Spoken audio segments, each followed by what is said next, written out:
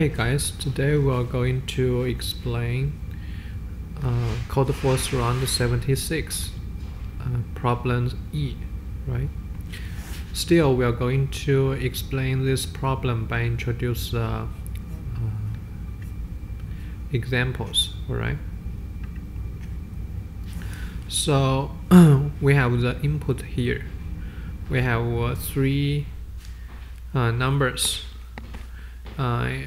The first number says how many numbers are going to be in the first bucket. And the second number will be the number of uh, items in the second bucket right? One number in the second bucket. And two uh, two demonstrate the number of numbers in the third bucket. There are two numbers in the third bucket right so we have three buckets here. Uh, eventually, we want to uh, the numbers in the first bucket is uh, less than the numbers in the second bucket, and the numbers in the second bucket are less than the numbers in the third bucket, right? So the uh, final answer we are going to return is uh, minimal moves to uh, make it happen, right?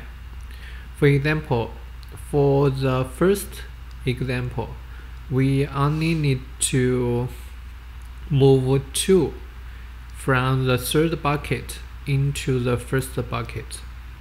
So in the first bucket, we have 1, 2, 3, all of them less than 4 and 4 less than 5 right?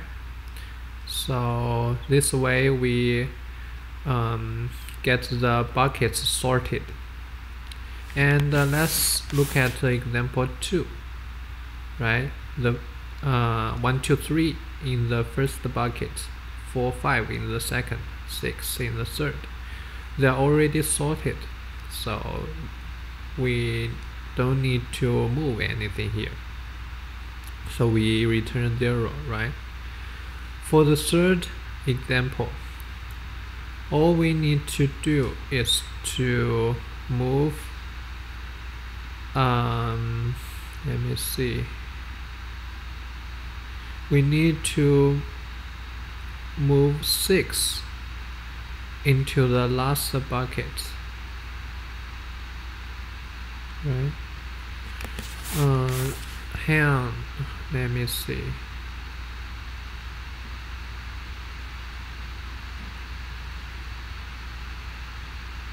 Okay we just need to move 6 into the second bucket and move 3 into the second bucket as well so that all the numbers are in the second bucket right? So the uh, buckets are still sorted because no number in the first and the third bucket so they are still sorted right? So let's see how to solve this problem. We solve this problem by using dynamic programming right? So formula is here.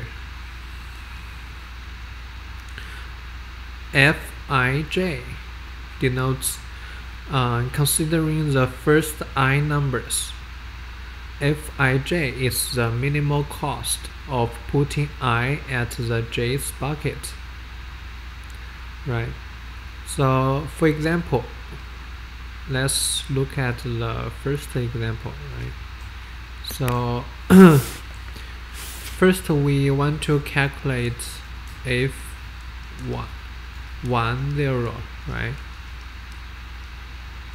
So where can we um, put 1 at? We are going to put it at uh, uh, the first bucket, right? So the cost is 0 because uh, 1 is already in the first bucket. So the cost is 0, right? Here is the moving cost, it's 0. So let's look at uh, f20 if we want to put 2 at the first bucket we need to move right? Because it's originally in the third bucket we need to move into the first bucket. So the cost is 1 right? And let's see uh, f30 right we need to uh, we don't need to move 3 because it is already in the first bucket. And we need to um, plus the cost of moving 2 in the uh, first bucket right? Because in, or in order to put 3 in the first bucket. We need to uh, make sure that the 2 is in the first bucket as well. So we need to uh, plus the cost of moving 2 into the first bucket which is 1 right? The value of this is 1 right? So this guy is correlates to this guy right. So that's the basic idea behind this dynamic program. Let's take another example. If uh, 2 1 right? We want to put 2 in the second bucket.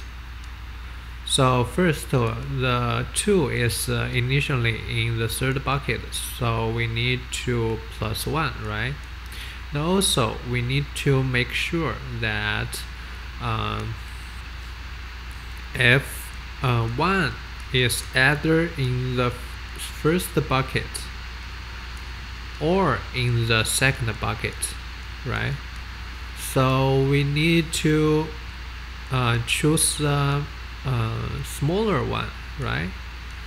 Because we can choose either of them. So of course we need we want to choose the smaller one. So let's uh, take a look at their values. So f10 is 0 1 f11 is 1 right? So of course we choose uh, 1 at the first bucket because its cost is 0 it's better for us right so that's how we calculate uh, all of the uh, values in the programming right? So let's look at the code. So you erase all of this and uh, look at the code right? So for this part uh, is we take three numbers uh, as the nonce of each bucket right? And then for each bucket we uh, taking the position of the number right? This is the number uh, of the input. And uh, um, we record this numbers position right so if we get a 2 at position 1 right? So we can uh, query very fast by just uh, uh, query the um, position of that number right? And then we initialize the f's values. So uh, well let's imagine there is a zero in uh, in the number right?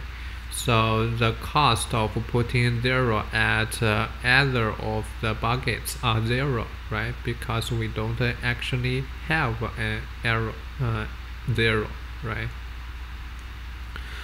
So then we start to calculate each of the f's right iterate through all of them and uh, so we uh, first decide if the um, number is already in that bucket. If it is in that bucket, we don't need to plus 1 here, right?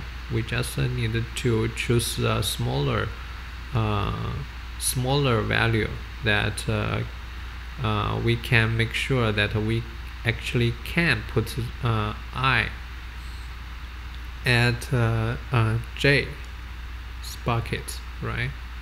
So if it is uh, not, if i is not in j's bucket, uh, we will add 1 here, right? Because we need to move it. And also we choose a smaller value of uh, previous ca calculations, right? Uh, as for demonstration, I output the f's value here, so it's not necessary we do it in the programming, right? And in the last, we can um, choose the smallest number where we can put n in the ith position, right? We choose the smallest one and return it as the final answer, right? I guess that's it. Thanks for watching.